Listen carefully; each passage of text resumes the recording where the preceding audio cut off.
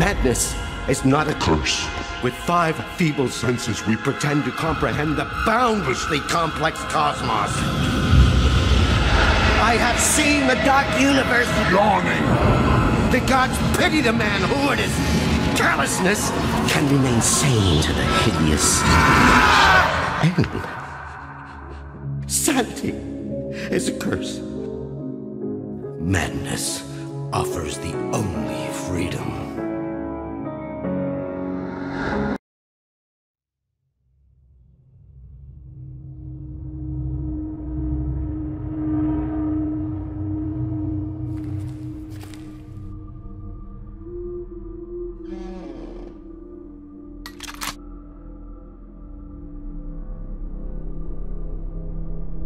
You